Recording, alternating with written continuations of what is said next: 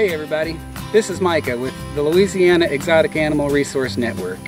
I'm a wildlife rehabilitator and one of the things that I do is glue turtles back together after they've been hit by cars. I don't mind doing that, I love these little guys, but I'd much rather not have to. So me and Jack, he's a three-toed box turtle, he's one of our animal ambassadors, are here today with a message to please watch for wildlife as you drive.